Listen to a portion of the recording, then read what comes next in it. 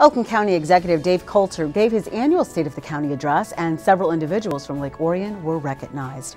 More than 100 fifth graders embraced their love of reading by competing in the library's Battle of the Books competition. Kensington Church invited the community to attend a presentation by the Oakland County Sheriff's Office on what to do in the event of a mass shooting.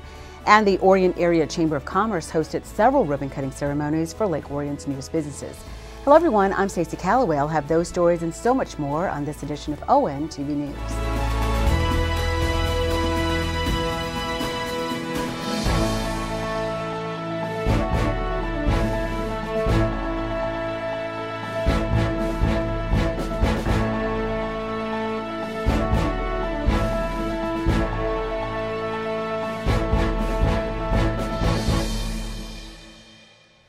Oakland County Executive Dave Coulter hosted his annual State of the County address at a new location this year, and Lake Orion was well represented at the event. On Tuesday, March 15th, the who's who of Oakland County gathered at the M1 Concourse Event Center in Pontiac for the County Executive State of the County address. Prior to the start of the address, a reception was held for the county's 40 under 40 class of 2022. A list of 40 new members was revealed in February, selected from 125 applicants who represent a wide variety of fields. The good news is we have a lot of talented individuals, young individuals, young professionals in this county. But so it was a tough, it was a tough group to get down to 40. But um, uh, it's an amazing group of people, really diverse in terms of well their demographics, but also their experience. You know, everything from a circuit court judge to to, to activists to nonprofit leaders to business leaders, small business owners. It's it's just a, a really inspiring group of people. Frankly, uh, it makes me encouraged for the future. I was pretty excited um, to hear there was uh, so many applicants, so many uh, neat people in the county under 40 that were were willing to put themselves out there and, and do the hard work that needs to be done and um, represent the, the county. And for as many candidates as there was, I was pretty excited to be uh, one of the top 40. When you found out you were being included among this group, what was your reaction? Uh, really, I was elated, to be quite honest. Uh, but it also was a reminder that I'm swiftly reaching uh, a benchmark, uh, 40 years, and uh, looking to set new goals and new accomplishments and uh, help improve the fabric of the community that I reside. Among those who made the cut was Vernon Burden, who has been Lake Orion High School's assistant principal since 2018. Before that, he was a math teacher and coach in Southfield for 13 years. I was kind of excited. Um, I don't expect an award like this. I don't expect an acknowledgement because I just like what I'm doing. I'm just going to work every day, and it was nice to talk to Mark uh, from the board office.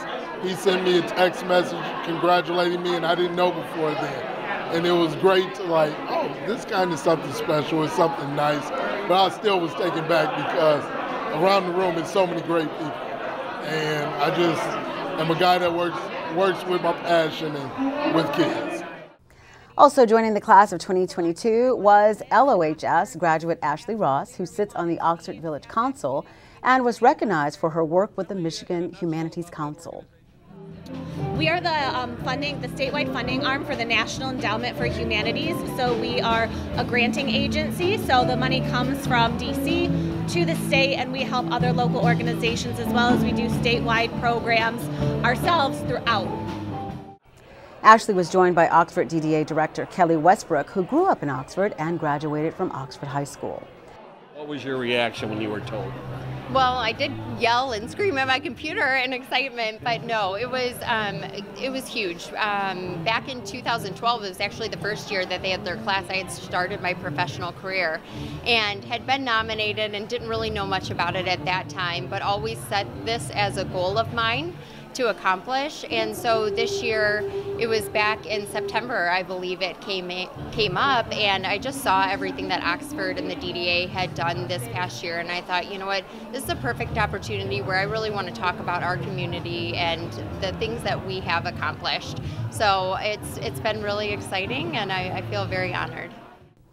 Also joining the 2022 class was Oxford's Kyle Hagan, who is a lieutenant with the Orion Township Fire Department, and Lake Orion resident Melissa Ford, trail manager for the Paint Creek Trailways Commission. Following the reception, County Executive Dave Coulter rolled up in a Chevy Bolt EUV produced at GM's Orion Assembly Plant. He began his address by praising GM's commitment to Oakland County and Orion Township. GM recently announced a $4 billion investment to build the Chevy Silverado EV and the electric GMC Sierra at Orion. It's expected that this investment is going to add more than 2,300 new jobs and retain another 1,000 jobs when the plant is fully up and running. Right? Yes. And so now Orion is now etched in GM history as part of its largest ever single investment. I mean, let that sink in. Right here in Oakland County. And it also places Michigan as the recognized hub of innovation in the US in the US for the EV development and EV manufacturing. And that distinction is truly priceless. So I had the honor of being in Lansing with Orion Township Supervisor Chris Barnett on the day of the announcement. It was truly a proud day for Michigan, for Oakland County, and the Orion plant. So let's give Chris and everyone who helped to create the development package to keep this investment here in the county a big round of applause. Chris, we appreciate you, buddy. Thank you. The theme of the county executive's presentation was always moving forward, and he told us he hoped to convey a sense of optimism and hope following a very difficult two years. Yeah, I like to think that the message is optimistic. Uh, we have been through a tough two years, but where are we going? Where are we going in the future? And so I'm going to unveil what I call a roadmap for the future. It's a five year strategic plan for Oakland County. How are we going to support our small businesses? How are we going to support people's health, including their mental health? How are we going to take care of the environment? Those kinds of things. Um, and it's, it's a five year plan. And what I want your viewers to know is that I want you to hold us accountable because we're going to measure what we're doing. And you can go to our website starting this evening, oakgov.com, and we're going to put all the measures and data on the website so you can hold us accountable to the promises that I'm going to make tonight. You can view the State of the County address in its entirety right here on ONTV, or you can watch it on demand on YouTube. ALICE is a federally endorsed safety protocol that stands for Alert, Lockdown, Inform, Counter, and Evacuate. This technique is being taught around the country for those who work in or visit public areas that might be the target of a mass shooter. On Wednesday, March 23rd, representatives of the Oakland County Sheriff's Office were invited to Kensington Church in Orion Township to speak to those in attendance about mass shootings and places of worship. I mean, the general message is when you leave here, we want you to feel empowered. Uh, we want you to realize that you do not have to be a victim. Uh, we can't prophesize when events are going to occur, and we're not saying we can stop 100% of the events or that people aren't going to be injured. Uh, what our goal, though, is to empower you, have you understand that you do have options and that if you're proactive in your own defense, your chances of survival increase, uh, your chances of saving other people increase. Uh, we want that message to go out. We think it's important. We are not naive to the fact that this is a uh, conversation people don't like to have. It is uh, very graphic or it is uh, a sensitive topic. We're not naive to that, but we do feel it's important. We, we want everybody to feel comfortable knowing that they don't have to be a victim. Kensington invited the sheriff's office to speak at the church and invited members of the entire community to attend the presentation. The event was free to the public. Those in attendance only represented a small percentage of the congregation and the community. But organizers are hoping they will share what they've learned with friends, family, and coworkers. I think if we can get the word out and make sure people are talking about it and spread the word of what they learned tonight, they can help other people to know. It, it's it's also a big idea that if they can be out with somebody, at least maybe there's somebody in the group who knows this information and can guide the rest of the people in their group. We realize we can't touch everybody. Uh, when we do these presentations, we will do them for small groups, we will do them for large groups. The goal is to get the message out, and we believe that if we get the message out, you will then push that message. You'll be the conduit. You'll talk to family members, you'll talk to friends, you'll talk about the training you've had, and as that message spreads, they will then look at their own uh, scenario. Maybe they'll attend a training. Maybe they'll just look at their environment. Maybe they'll take one piece of that run, hide, fight concept We believe that that's the way to get the message out. We, we give it to the people in the community and let the community share with each other. Tragically, four young lives were cut short during the horrific shooting that took place at Oxford High School on November 30th. But Lieutenant Workman told us he's absolutely convinced that training and drills prior to that day helped save countless lives. That training worked.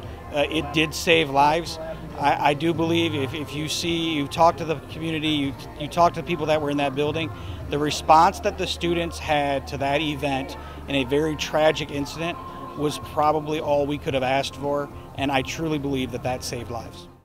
If you would like to schedule a lecture from the Oakland County Sheriff's Office, just visit oakgov.com slash sheriff for contact information, and they'll be happy to schedule a date at your workplace, school, or church. You've heard of athletes and even mathletes, but there's one event that allows students to celebrate their love of reading in a fierce competition. On the morning of Saturday, March 19th, 124 fifth graders gathered at Walden Middle School to compete in the Orion Township Public Library's Battle of the Books competition. Now in its 37th year, the fifth graders formed teams and are quizzed on nine books that were announced back in November. The teams were asked 45 questions and had to respond with the correct title and author. We are going to. We are super excited this year just because we got to do it back in person. We were virtual last year, so we spent the last uh, five months or so reading and getting ready and writing questions and preparing these teams for battle.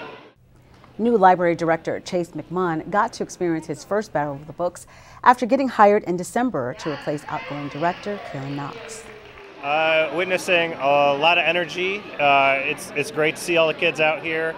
Um, working as teams. I see a lot of great costumes, a lot of a lot of good energy. So it's a lot of fun so far. After tallying up the scores, an award ceremony was held on Monday, March 21st at Walden Middle School. Author Kelly Baptist, whose book Isaiah Dunn is My Hero, was one of the nine books featured in this year's contest. She was invited to speak to the students and she signed copies of her book after the event. During the ceremony, the top three finishers were announced, as well as recognition for most creative costumes, best team name, and best team spirit. Finishing in third place with 85 out of a possible 90 points was the Vol Kings.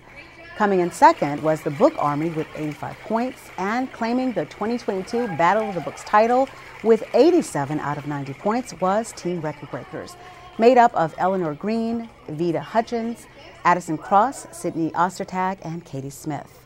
So this event is probably my favorite event of the my whole uh, career, basically, and um, we just want to foster that love of reading. So by adding a competition to it, it kind of makes it really, really fun, and they just have fun along the way, and they're learning, they're reading, they're picking up new words, new vocabulary, and um, keeping their brains smart. March is reading month, and that's really what it's about. Gets kids involved in reading, enjoy, you know, instills that love of reading, uh, and hopefully that carries them through. So I think I see a lot of enthusiastic kids about reading here, and that's that's really what it's about, right? If you're looking for a sign that the economy is booming, look no further than the Orion Area Chamber of Commerce. The organization has been scheduling ribbon cutting ceremonies for new businesses almost every week. On Thursday, March 17th, representatives of the Chamber of Commerce and the Lake Orion DDA came together to help the Patch Boys of Lake Orion celebrate their official grand opening with a ribbon cutting ceremony. Two, three. It's, it's actually very incredible. You know, it's very heartwarming. I think that, um, you know, when we look around, we see how many people that are here. It just means a lot to us. Sally Medina and her husband Anthony came out to Lake Orion approximately six years ago. They opened the Patch Boys Lake Orion location back in December and are also the owners of Broadway Embroidery in downtown Lake Orion. So my sister did uh, 20 years of embroidery, and so when we were kind of looking to what we wanted to do, I, you know, I have some business and marketing experience. And she's the one that had all the embroidery experience. So when we were looking to start, you know, something, we had found the space downtown and thought it was a perfect opportunity to be part of downtown Lake Orion. And then so for the Patch Boys, we were actually looking for something that um, I think that originally it was just that we had the opportunity, we had some money that we wanted to invest in, in um, opening another business. And so we did a lot of research on different franchise opportunities and we found the Patch Boys. Um, it's just, it's a um, owned by the Belfor Franchise Group, which is a Michigan company. So we were really excited about learning more about it. Found out there was really a niche opportunity for small patch jobs. Like a lot of the bigger contractors don't want to take some of the smaller repairs. So, you know, we, we started in December and we've been doing really well. If you have a need for drywall repair or installation, be sure to give the Patch Boys a call at 248 455 3999. You can also find them on Facebook at, at the Patch Boys Lake Orion. Just one week later, the Chamber of Commerce was added again, this time on Indianwood Road near M24. On Thursday, March 24th, the staff at Firestone Complete Auto Care invited the community to come out for their official grand opening ceremony. Following a few presentations and speeches, the staff gathered to cut the ribbon. All right, three, two, one.